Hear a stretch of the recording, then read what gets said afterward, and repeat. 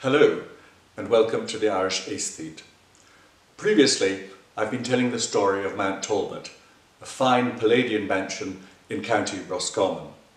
After it was built in the 1730s, its then owner, William Talbot, carried out alterations to the central block of the building, transforming it into a hybrid Gothic castle. William Talbot had no children of his own, so he left the estate to his nephew, John Talbot Crosby. John could enjoy a lifetime's occupancy of the property, but if it was to remain in his branch of the family, he had to have a son. After his uncle's death in 1851, John, who by royal licence dropped Crosby from his surname, came to live at Mount Talbot with his wife Marianne and the couple's daughter, but there was no son. The following year, John Talbot claimed to have discovered his wife with a groom called Mullen in the latter's room in the stables.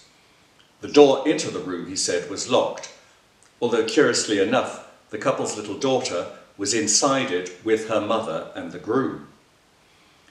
Nevertheless, and despite her pleas of innocence, Marianne Talbot was immediately separated from her child and imprisoned overnight in the house.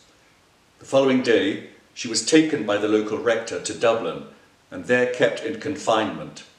It's said that Mullen followed Marianne to the city and tried to see her, but was not allowed to do so. Sometime later, Marianne was declared insane, brought to England, and placed in an asylum where it seems she spent the rest of her life. Meanwhile, her husband had initiated divorce proceedings on the grounds of her adultery with the groom. Although his application was granted in the court, it was repeatedly challenged by Marianne's family, and the case was taken up by Liberal MP, John George Phillimore.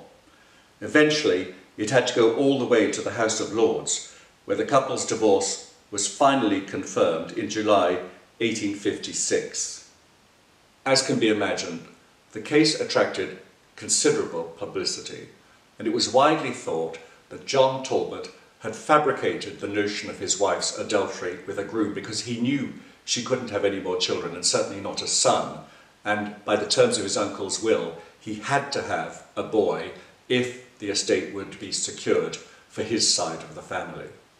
Having finally succeeded in his ambition, John Talbot was able to marry again, which he did in October 1858, his new wife being Gertrude Caroline Bayly, whose family came from Ballyarthur County Wicklow.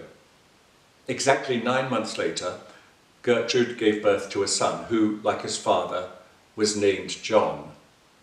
But then divine intervention struck, and just a fortnight after the child's birth, John Sr. died at the age of 40. The widowed Gertrude married again, her second husband being Captain Francis Crofton, whose family lived elsewhere in the county at Mote Park. But then Gertrude also died, and at the age of 10, little Johnny Talbot was left an orphan. And in the next episode, I'll tell you what happened when he grew up and what became of the house that his father had been so determined to secure. I look forward to seeing you then. Thank you so much for watching The Irish Aesthete. Goodbye.